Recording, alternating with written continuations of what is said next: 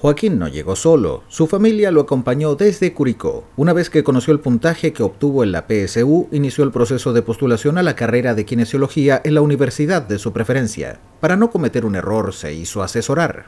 No te deja ninguna duda. Es un proceso de, mucha orientación. Sí, sí. ¿Y qué le dirías al resto de los jóvenes para que si tienen alguna duda se acerquen? No, que vengan nomás porque, ¿cómo se llama? Eh, aquí los jóvenes que hay son muy buenas personas, que te ayudan, no te dejan ni una duda.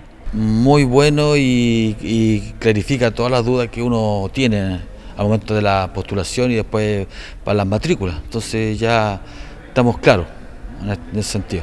Fueron varios los que demostraron su interés en postular a la educación superior, minimizando las posibilidades de un error. Me dijeron que las carreras donde puedo entrar, qué universidad, sabían lo ponderado, todo súper bien. ¿Alguna en especial? Eh, estoy viendo para ingeniería en informática empresarial y en comercial. Me voy más tranquila porque venía a preguntar sobre unas becas y ahora ya voy más clara.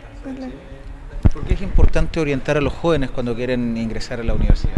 Eh, para que piensen bien las cosas y no cometan errores en el camino. Un aspecto clave que motivó a la Universidad de Talca a iniciar un servicio de acompañamiento y asesoría gratuito y sin mayores compromisos, uno que fue replicado en varias comunas de la región.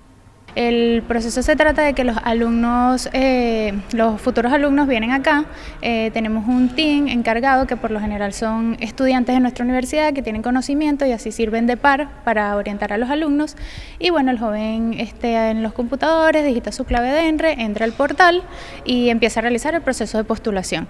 Nosotros básicamente lo que ofrecemos es orientarlos en cuanto a las dudas que ellos tienen con respecto a las carreras, los beneficios, las becas, el costo y cómo es el proceso este apoyo se extenderá hasta este miércoles tanto en el Centro de Extensión de Talca como en el Centro Cultural de Constitución, el Campus Linares y algunos establecimientos con convenio PASE, todo para facilitar el proceso de postulación, el que concluye este viernes 28 de febrero.